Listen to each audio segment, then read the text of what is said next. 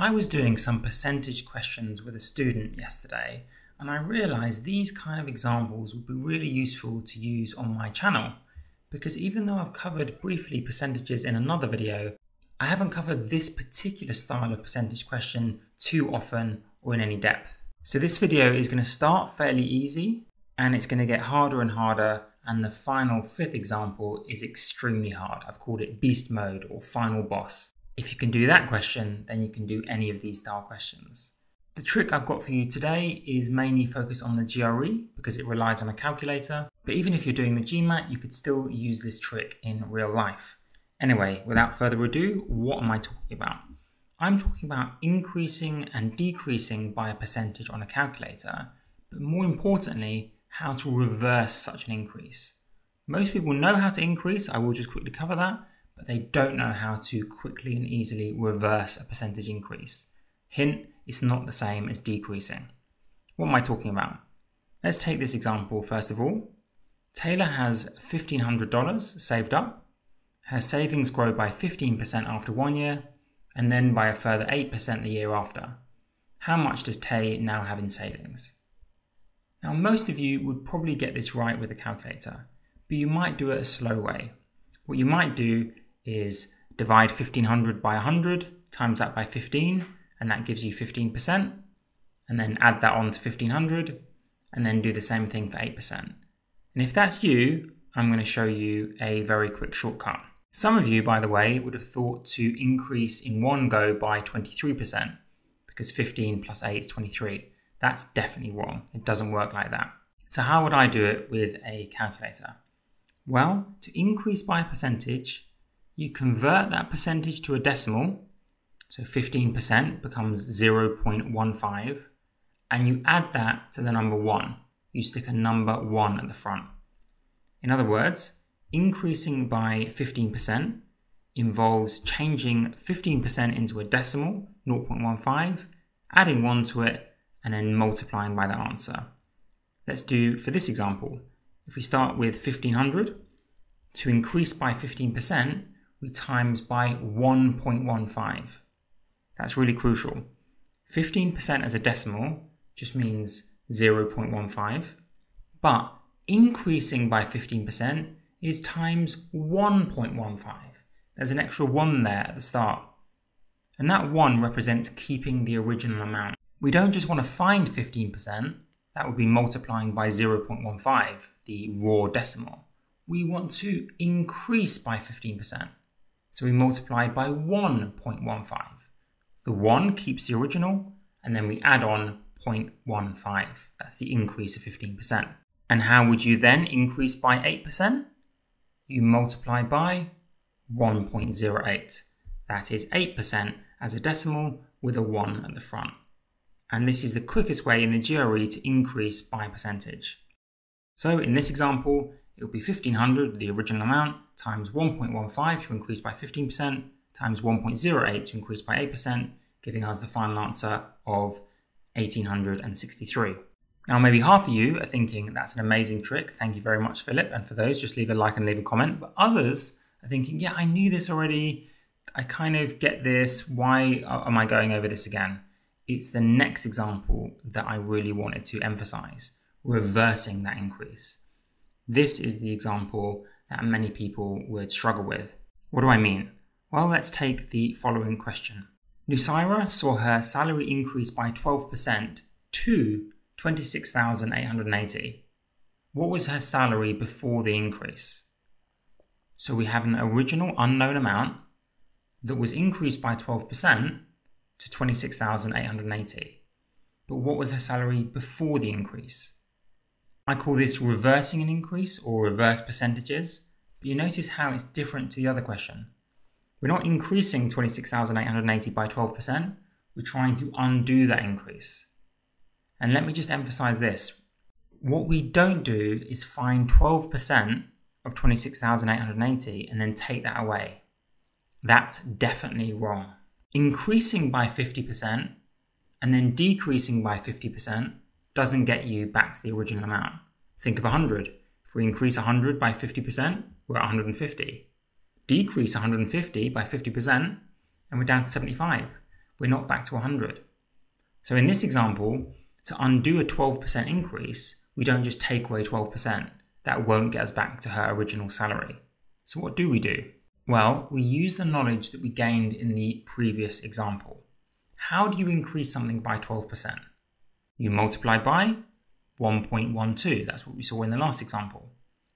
So, as I've written down below, everything starts with an n. Pretend the original amount is x, or n in this case. And if you agree to pretend that the original amount is n, then we can create this amazing mini equation. We would have n, the original, times 1.12, that's the increase of 12%, equals her new salary, 26,880. It's a lovely little mini equation that we can now solve. All because we pretended to start with the letter n, the amount n. And also because we remembered that to increase by 12% means multiplied by 1.12. How would we solve this equation? Well, we want to work out n, so to get rid of the times by 1.12, we divide both sides by 1.12. We don't subtract by 1.12 because it's not plus 1.12. To reverse the times, we divide. So we divide both sides by 1.12 and that will tell us what n is. In this case, that would be 24,000. So that was her salary before the 12% increase. So it's really important for you to remember that you don't undo an increase by decreasing by that percentage. You reverse an increase by pretending that we started with n, then going through the steps to set up an equation, n times the increase equals the new amount, and then reversing that by dividing both sides by the multiplier. Yes, it's a lot harder than just timesing by an amount or dividing by an amount, but that's how we solve it properly. So that's covered increasing by a percentage and reversing an increase, but you can now probably predict what I'm going to go on to. We're going to decrease by a percentage. How do we decrease by a percentage? Athera saw her $28,000 salary decrease by 25%. What was her salary after the decrease? Now there's a nice way of remembering what to do. Do you remember with percentage increase, we added a 1 at the front. We did 1 plus the decimal. Well, for percentage decrease, we do 1 minus the decimal. We do 1 minus the percentage. In this case, 1 minus 0.25 is 0.75. So we multiply by 0.75 to decrease by 25%. Let me quickly give you another couple of examples. As I've written down below, if we want to decrease by 10%, that means that we're now at 90%, right? So we times by 0.9. To decrease by 5%, we times by 0.95. To decrease by 12%, we times by 0.88. To decrease by 1.5%, we multiply by 0.985 it's always 1 take away the decimal version of the percentage you're decreasing by. So in this example, to decrease her $28,000 salary by 25%, we multiply 28,000 by 0.75, giving us the answer 21,000. This is the quickest and most efficient way to decrease by a percentage. But now we know this, let's again try to reverse a decrease using the trick we saw earlier. Let's try an example. Kevin saw his salary decrease by 12% to 17,600. What was his salary before the decrease? Notice we're trying to go back to an original amount, and this is where the setting up the equation comes in. It's easy when you're doing loads of the same example as we did earlier to spot the equation you have to set up. But would you, looking at this question, think about setting up an equation? you would have to set up an equation because we're trying to get back to an original amount. We're trying to reverse, in this case, a percentage decrease. And the way to reverse a percentage decrease is to pretend the original amount is n again. It all comes back to setting up those mini equations. As I've written here, pretend we started with n, and if his original salary was n, it got decreased by 12%. So it got multiplied by 0.88. As we saw, that's how to decrease by 12%. and it now equals 17,600. How do we solve that mini equation? We divide both sides by 0.88. Now, after you've seen this example, I want you to ask yourself, would you have thought by looking at this question to do the equation? And maybe write some notes to yourself of how you can remember that we need to set up an equation. One suggestion I've got is anytime you're trying to find an original amount and there's been some sort of percentage change, that's when you need to set up an equation. Or you could remember it as anytime you're trying to reverse a percentage increase or decrease. That's when you need to pretend the original amount is n and solve the mini equation. However you remember it, that's the number one obstacle you've got to getting these kind of very common GRE questions right is remembering to set up the equation and not just doing, I don't know, 17,600 times 1.12 to increase by 12% and get back to the original. That's the wrong way, that won't work. If you can remember to use this method, and if you can use the method correctly, you've won the battle about getting these very common GRE questions right. Almost guaranteed one question like this will come up in the test. So really important that you know what to do. Now, in a way, all of this has been in preparation for the final, very difficult question. And if everything I've said and done so far has felt a little bit too easy, and I'd be impressed at that, but if it's felt a bit too easy, then have your best go at the last question here. Over three years, Philip saw his salary increase by 5%, then decrease by 20%, and then increase by 30%. After the changes, his salary was worth that amount. If, instead of these changes, his salary had grown by 6% a year, how much would his salary now be? What I would say now to any student who's made it this far, first of all, well done.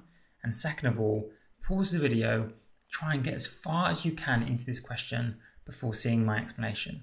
This will really test how much you've taken in in terms of undoing these percentage increases and percentage decreases. Try your best, good luck. If you get it, that's really impressive. And now I'm going to cover what I would do. So we're trying to get what his original salary was, and then we can answer the final question later on. But first, we need to know what Philip's original salary was. So it's going to be one of those times we invent the n again. So if his original salary was n, and then it increased by 5%, we would do n times 1.05. If it then decreased by 20%, we would then times 0.8. And then if it increased by 30%, we would times 1.3.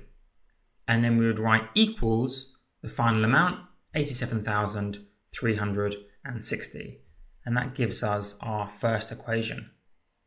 Now, what about all those numbers in the middle? Kind of awkward, right? Times 1.05 times 0.8 bring them all together just by multiplying the numbers. 1.05 times 0.8 times 1.3 is indeed 1.092, so it just neatly brings those three multiplications into one number. Finally, as always, to solve this equation, we simply divide by the multiplier. So we divide both sides by 1.092, giving us his original salary, which was $80,000. Now, in many medium level questions, that would be the end of the question, but here we need to do something else. It says if, instead of these changes that occurred, his salary, his original salary, had instead grown by 6% a year, how much would his salary now be? How can we grow this amount by 6% a year for three years? I guess I should have clarified in the question this is for three years. We would multiply by 1.06. To increase by 6%, we multiply by 1.06, and we're going to do this three times. We could have done power of three, but the GRE calculator isn't that good, so just going to times by 1.06 three times, giving us 95,281.28. That is the hypothetical salary that Philip would have had if instead of changing by the three percentages they gave us, it had instead changed by 6% growth a year. Fairly meaty question, but it is a great way to practice those two core concepts of how to reverse a percentage increase and reverse a percentage decrease. I really hope you learned a lot from this video. If you did, leave a like and a comment. If you didn't, you know what, leave a like and a comment anyway. Whatever. See you in the next video.